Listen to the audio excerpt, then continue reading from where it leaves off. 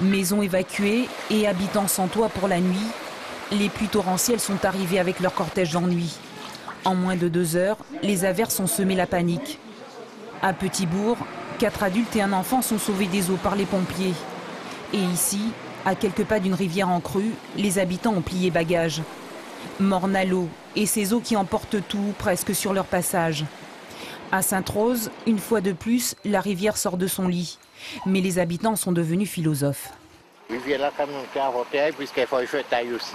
Mais il peut monter pour faire des gars à boucan. De la pluie cette nuit et pendant deux jours encore selon Météo France, les secours restent en alerte.